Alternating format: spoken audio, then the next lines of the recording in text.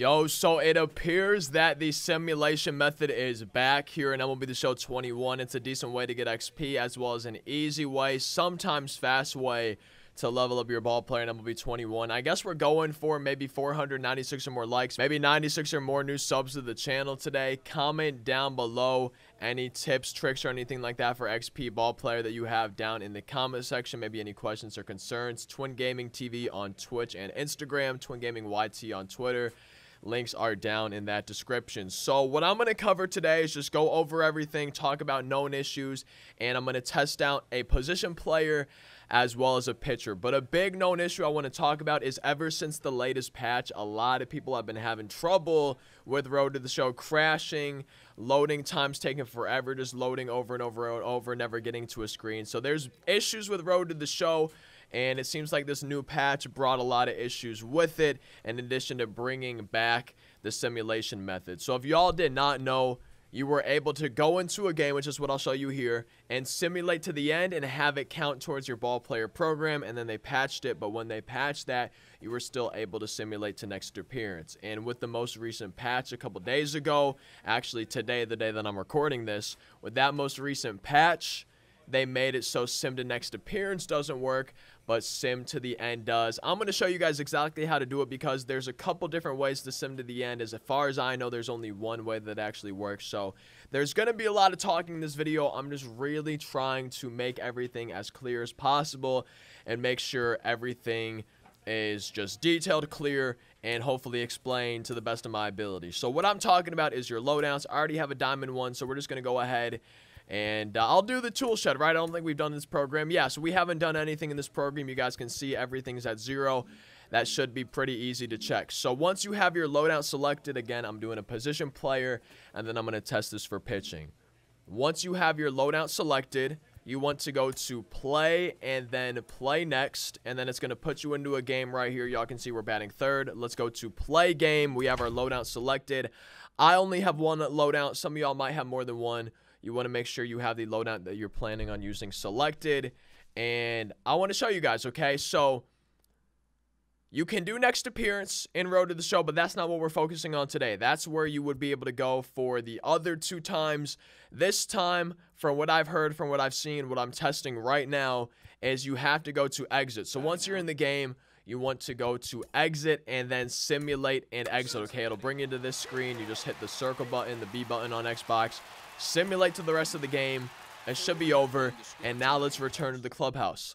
Let's go ahead and see if that got us any progress towards the program. Also, I want to explain right now too while we're checking that I want to show y'all where the XP where the stubs are coming from okay because some people I don't think understood this in some of my other videos but we go back to our loadout we check the program and y'all can see we have our progress. Now, my guy didn't really do anything that game, but he got the plate appearances. I think he went over something, so he didn't really get any of this stuff. But he did get the plate appearances, and if he got some hits and stuff, it would count too. But as y'all can see, simulating to the end like that does seem to work. Now, with that being said, some programs you only have hits, extra base hits, stolen bases, stuff like that. For a program like this, I would still recommend for leveling up your ball player the fastest.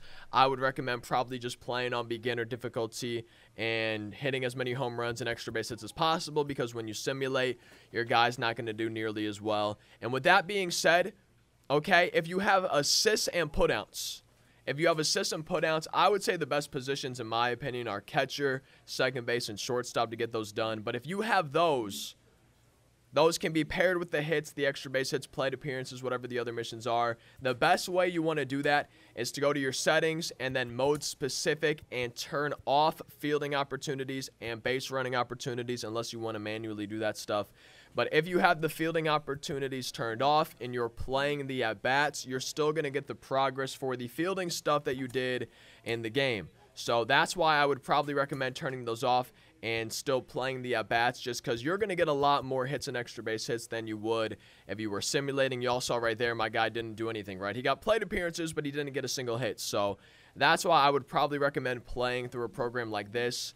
And one thing before we show you guys the other loadouts, the time you get XP, okay, when you're getting XP, why this method is so good for XP is because you get it at these stubs. You're not getting XP every game. You're getting it at the stub milestones in the program. So every time I get to one of these stub markers, I'm getting 8,000 XP. And 8,000, 8,000, 8,000, another 8,000 at the end. Plus we're getting equipment we can sell. Plus we're getting perks we can sell. And I want to show you guys real quick. We have the Hawk right here in the program. Y'all can see more stubs, more XP obviously, but also diamond equipment. So that's why progressing your ball player programs is really good for making XP, making stubs, and getting equipment for your player. You can sell all this, you can keep it, you get stubs, you get XP, which helps you get rewards, packs, and stuff towards the inning program. So that's why it's a really good method. And as y'all can see here, this program has assists and putouts. Uh, I can go ahead and show you guys real quick if you want to, since we're showing things right. We're at 44 plate appearances, okay, 18 assists. So I can just show you guys real quick, if you want to, that playing – is actually going to work. So I'm going to go ahead and play an at-bat. I can show you guys the at-bats or maybe the last one if y'all want to see and show you guys that we should be getting some assists, some putouts towards this program right now. All right, so I just finished my at-bats and everything. Four for four, three home runs. Y'all can see I did a lot better when I'm actually playing. We're going to return to the clubhouse. I was playing second base that game, so we probably got at least one or two assists, which is the main thing we're focusing on.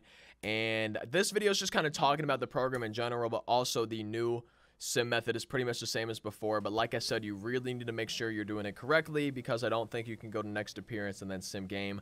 I think all that stuff kind of uh, screws it up. So I literally did not simulate at all. I had the fielding and base running turned off. I just went ahead and played every single at bat, went four for four.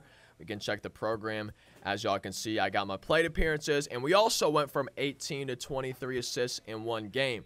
So that's why I would recommend turning off the fielding opportunities base running because it's going to make the fielding, the assist putouts go a lot faster by just doing the at bats. And if you're actually playing the at bats, it's going to be really, really good for getting hits and extra base hits. You're going to play a lot better than if you were simulating. So the method we're talking about today and focusing on this video today, like I showed you, is the simulating. And I would really say it's a lot better for pitching. So let me get on a pitcher road to the show and show you why I think that. Also, if y'all did not know, you can have more than one road to the show. Just don't hit X here. You can see more options in the bottom left. You want to click that button, and then you can start new or load a save file. I already have a picture made. So actually, I did not have a picture once. We're making one already. And when you start your road to the show after you get drafted, you have to be a two-way player for the first series you do. I get a lot of people asking me, so I figure, hey, I can explain it in this video too.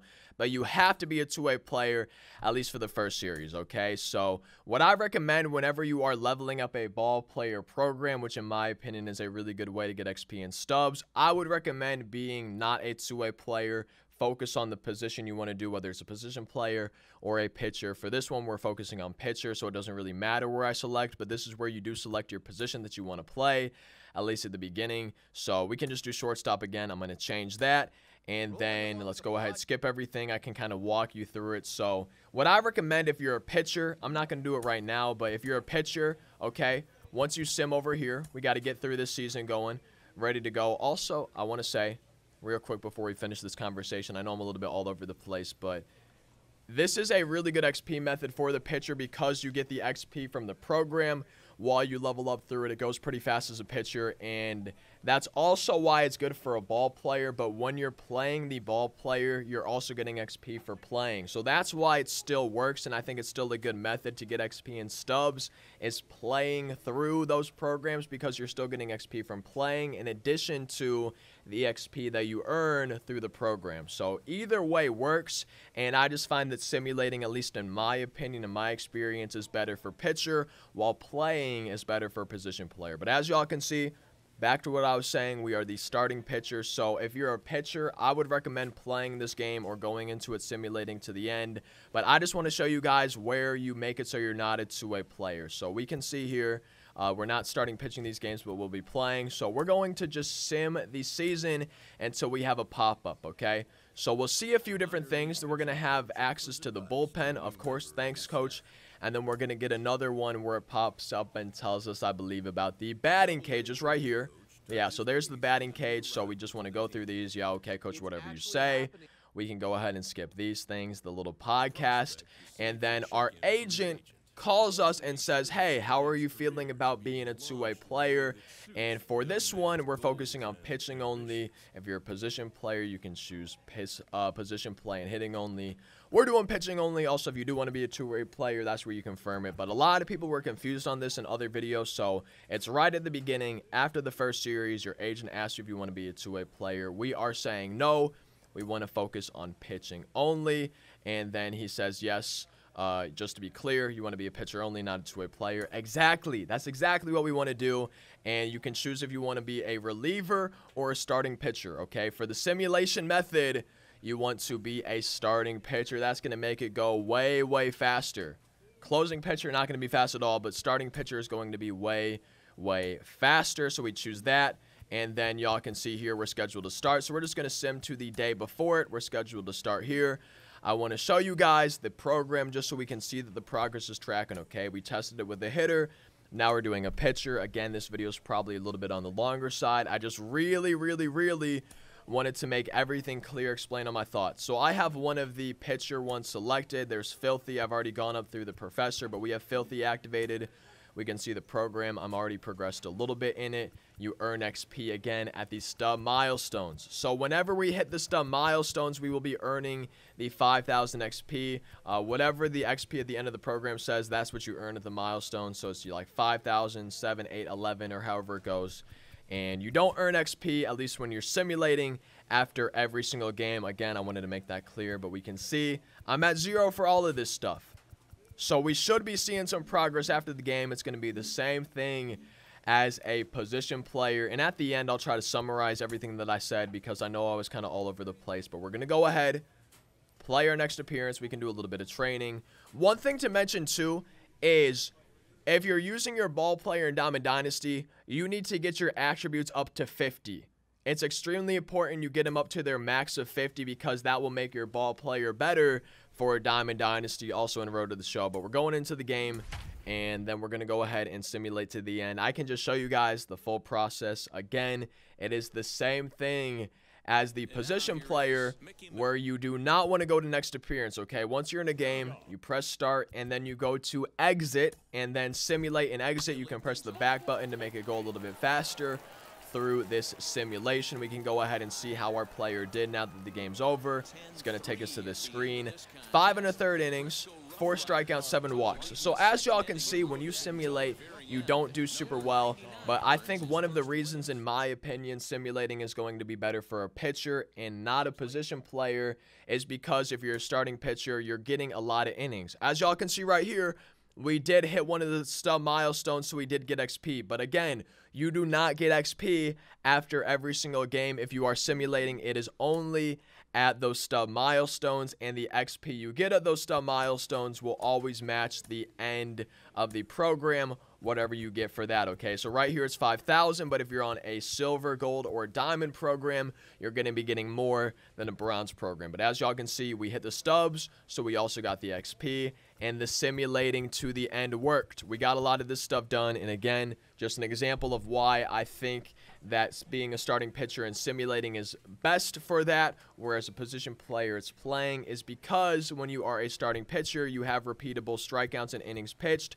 and the innings go super, super fast for the repeatable. And I know it's only two, but those can add up really quickly as you're also earning these at the same time. So for me, in my opinion, I feel like this method is best for being a starting pitcher. However, just in general, leveling up through the ball player programs is a great way to earn XP, great way to earn stubs for both position player and pitcher. And just to summarize everything in the video, right?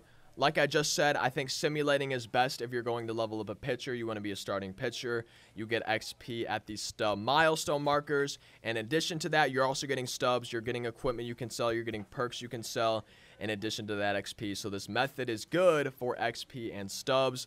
Like I also said in, this, in my summary, I want to say if you're a position player, I feel like it's best to not simulate. I feel like it's going to be best for you if you are going ahead and actually playing the games because You can simulate the fielding opportunities. You know, you don't have to play those. You still get assists and putouts, but it's much easier to get hits and extra base hits if you're playing than it is if you are simulating. Your guy's going to suck if you're simulating, so you get the XP from playing, and you also get the XP when you level through the program, and you're also getting equipment, perks, and stubs, and equipment, like I said, and perks you can sell. So this method is not only good for XP, it's also good for stubs. Also, the last thing that I wanted to cover that I forgot to mention in this video, if you are on next gen, you can go to the league tab and then you can assign stadiums to the teams. So for double A, right, we could assign our home one, we could assign it a custom stadium that maybe has max elevation. That's going to be really, really good for you